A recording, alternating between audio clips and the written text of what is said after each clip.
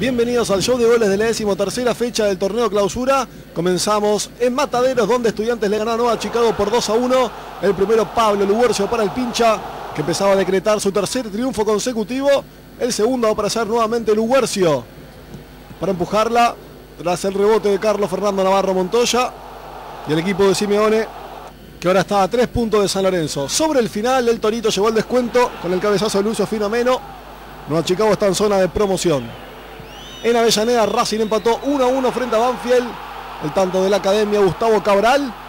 El festejo del defensor. Hace 7 que no gana Racing en Avellaneda. El empate de Cristian Luchetti de penal.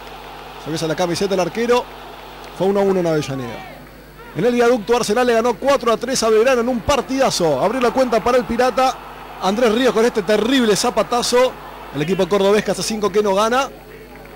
Y el local que va a llegar a la igualdad con este cabezazo de Mauro Óbolo. El festejo del equipo que dirige Gustavo Alfaro, que también iba a llegar al segundo. El tanto lo marca Carlos Ruiz desde el piso. El terreno de juego muy mojado por la lluvia. Y Arsenal que se ponía 2 a 1 frente a Verano. Tiro libre para el Pirata. Matías Oyola impresionante la clavó de zurda. Y las cosas hasta ahí 2 a 2 en el primer tiempo. Belgrano jugado el ataque. Errores en la defensa y el que va a aparecer es Santiago Raimonda. Defendiendo al primer palo y poniendo Arsenal nuevamente arriba. Hasta ese entonces 3 a 2. En el complemento lo va a liquidar Javier Jacuzzi. Con este zurdazo, la valla desguarnecida. Y el equipo del Faro que estaba 4 a 2 arriba. Finalmente, el 4 a 3 final lo puso Franco Pepino de cabeza. Arsenal hasta el momento está en zona de repechaje para la Copa Libertadores de América. En la cancha de Quilmes el cervecero le ganó 2 a 1 a Colón.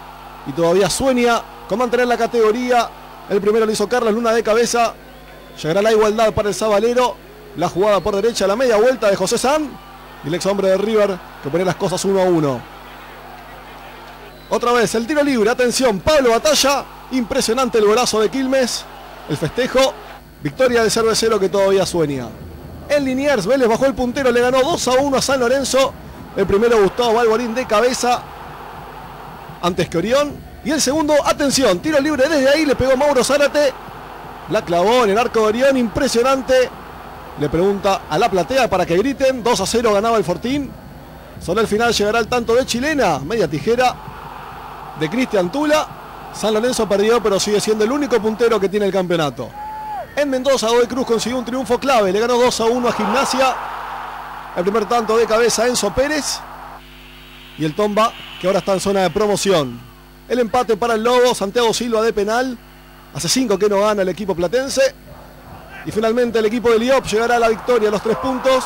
En una jugada confusa, Juan Herbella la empujó y decretó el triunfo para Godoy Cruz. En el sur, Lanús empató 1 a 1 con Gimnasia de Jujuy, que se puso en ventaja con este penal de Marcelo Quinteros. La igualdad para el Granate Diego Lagos de cabeza.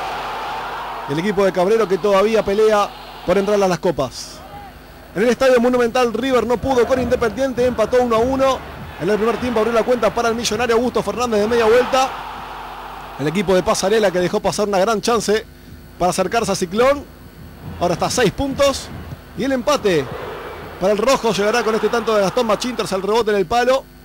Fue 1 a 1 en Núñez. Y nos vamos rápidamente al clásico rosarino, donde News le ganó a Central 1 a 0 con este tanto de Oscar Cardoso, noveno tanto para el paraguayo en el campeonato. Festejo para el equipo de Marini. En el último partido de la fecha, Argentinos Juniors y Boca empataron 3 a 3. El primero Gonzalo Che González de cabeza, el segundo otra vez de cabeza, en este caso Leonel Núñez. Y el bicho que sorprendía al Geneis estaban 2 a 0. Atención en el primer tiempo, derechazo de Neri Cardoso arriba, impresionante. Y Boca que cortaba la diferencia y todavía soñaba. Más todavía en el complemento cuando Palermo aprovechó la única chance que tuvo y puso el empate 2 a 2. Y en la tarde los golazos, zurdazo impresionante de Ibarra para poner en ventaja Boca. Son el final otro cabezazo de Che González para el 3 a 3 final. Boca perdió dos puntos y ahora está a 3 de San Lorenzo.